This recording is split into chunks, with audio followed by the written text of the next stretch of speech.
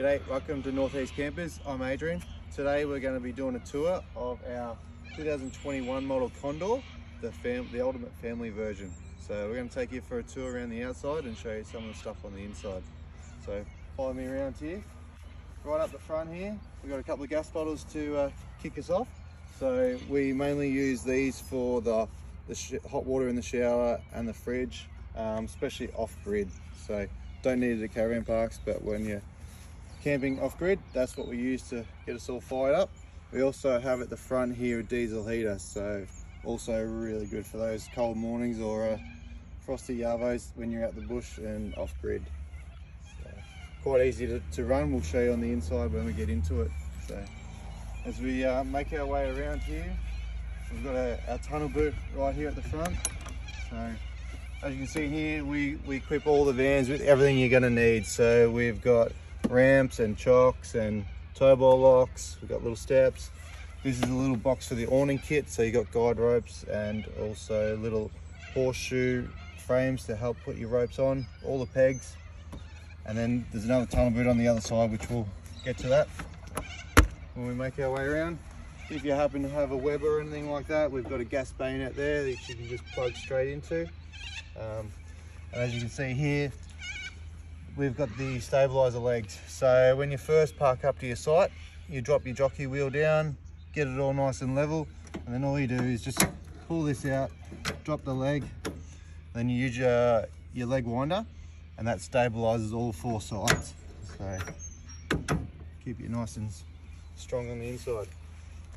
All right, moving around. So we've got a couple of lights on the outside, so when you're camping at night time, you've got a bit of vision there, and you also got one here, so you can leave as just a bit of a, a night door light there. Picnic table, drops down. You've also got connections here if you want to bring your TV outside, so you just plug that in. Uh, can get, that's 240, that's the mains, or you can go through 12 volt. Uh, a couple of speakers here as well, so you can run the stereo inside and outside. This here is for your toilet. So if you do end up using the toilet, we ask you to empty it. So quite easy, all you do is pull up that tab, it slides out, go to the dump point, drop it in there, put a little bit of water back in there and we supply more tablets so you can put in there, keep it smelling nice and fresh. All right, as we move around, uh, just got a spare wheel there in case it ever gets called upon. And as you can see around here, we've got some fittings. So this here is where you connect your grey water hose to. So it's just got the coupling where you just crack it together. We supply all these hoses. So, and then up here is where you feed your, your hose, which runs your main water. So once that's plugged in, you don't need your pump on the inside. It just runs straight direct to your van. Then as we get to here, these are our filler tanks. So we're running two 95 litre tanks here.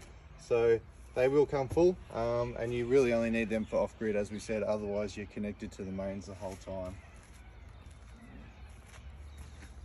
Along here, so this is our other side of the tunnel boot. So, so again, all your hoses are, and electrical lead is here. We've also got five camp chairs there, a couple for the adults, three for the kids, also a trestle table. So everything you could possibly need when you set up, so you don't have to bring anything.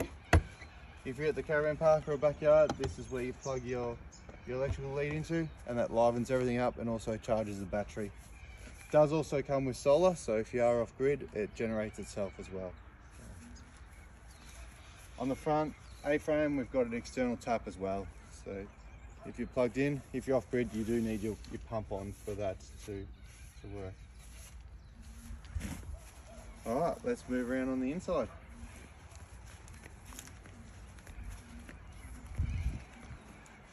So this door is actually comes with a triple lock door handle. So to open it, it's as easy as that. But to lock it, you actually need to turn the handle left. So that makes it solid and then you can turn the key. So if you open it like that and you close it, it actually only half closes until you actually turn it left. So, and then if you want to, if it's hot day and you want to Um, open that. Then you've got fly wire. And then it just pegs straight back together. So that was that little handle there. Just lift that up and the door separates. All right, come on in. So up the front of the van here, we've got a nice big queen size bed. Uh, also got the TV, TV DVD combo that runs off 12 volt up here. So you can swing it around to the lounge or obviously for the bed. Got skylight up here and windows that open all the way up. So up in this box, these are all your gauges and switches and everything that runs the van. It'll always be preset, so you shouldn't need to get in there at all, but just in case you need to, it's a big cupboard up there. Over on this side as you walk in, so we have our gauge here. So really simple. The first one's a water gauge which it stays on, and we only run off the first two tanks because there's two. At the moment, as you can see, they're half full. If you hit that button, it also turns it over. As you can see, the solar's starting to kick in a little bit now, and um, charging that battery just by sitting here. This black switch here is the outside speaker, so you can isolate that if you want to only have the music on the inside. If you want it on both, inside and out, just hit that switch down, and it runs outside as well. Moving around up here, we've got the stereo, Fusion stereo, so can tap into Bluetooth as well if you want, or just a bit of uh, radio playing in the background while you're relaxing. Nice big L-shaped lounge here, spot on table. Then over this side, got our normal sink, just like home. Range hood, cooktop. And there we go. So we've got three gas burners here and one electric. So that electric only works if you're plugged in the mains, but this gas can work the whole time. So, obviously just turn your gas bottle on, turn it over and hit your piezo and it'll start up. You got your oven there, which is gas as well. All right, back here. So we've got a microwave. This is one of the only, there's two things that work on power only. The microwave is one of them, so you have to be plugged in.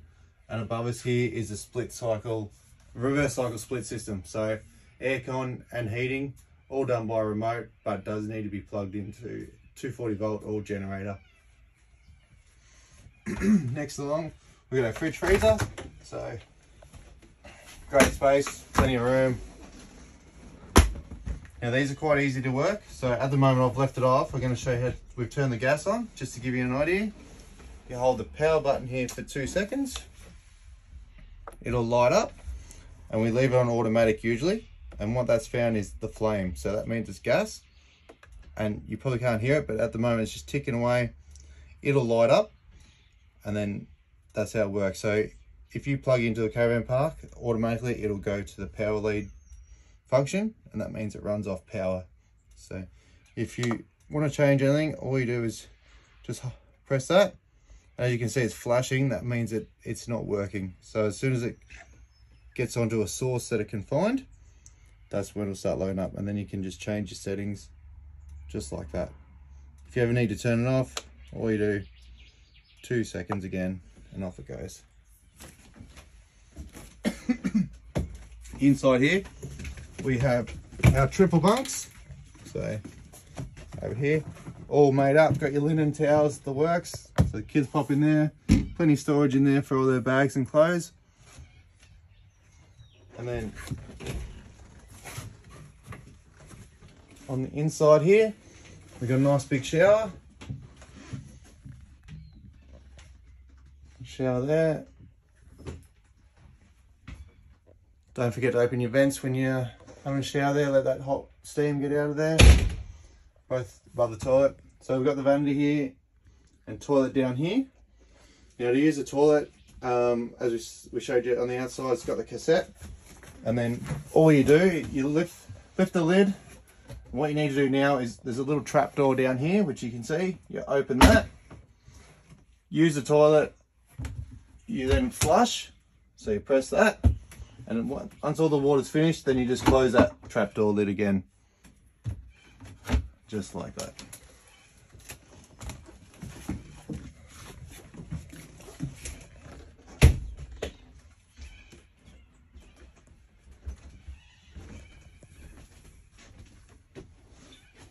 We're gonna take you outside now and give you a run through on the awning.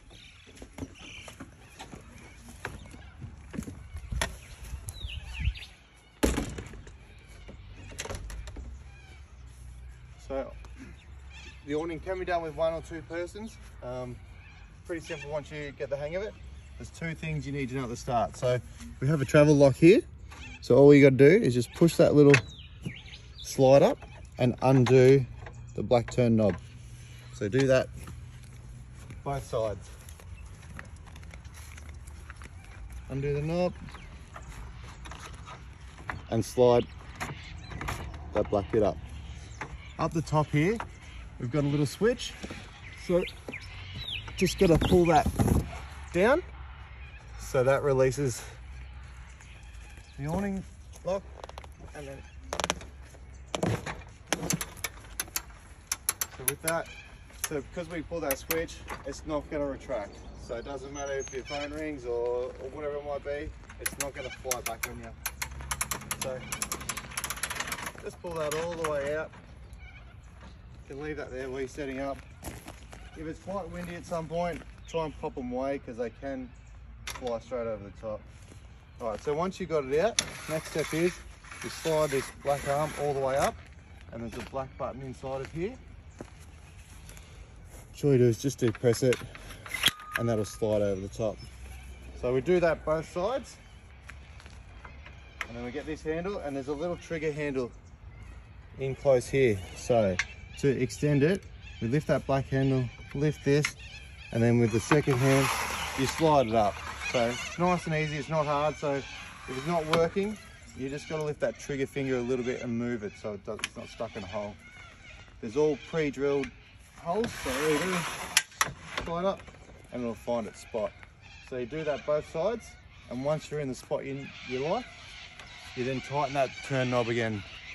So that'll brace the whole awning into that one thing and then you get your, your um, awning box out, you put your little horseshoe um, mold around that and then your guide ropes come straight off there with your pegs. So, then to pack it away, it's, exactly the same as when you fold it up. So to, to lower this, you pull your black handle, get your trigger finger and just, just slightly lift up and that releases it. It pops down like that. Press that black button and your arm will slide in all the way down. Then to fold it up, you just take that bit of pressure here and flick that switch like we did at the start. And then you want to come over to your, your rope.